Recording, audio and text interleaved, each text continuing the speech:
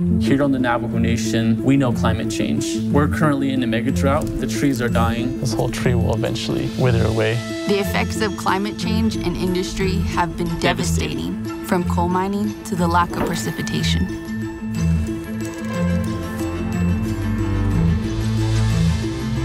We see the impacts of climate change every day. Every day. We need Representative O'Halleran to prioritize bold action to, to combat, combat, the, the climate, climate crisis. crisis.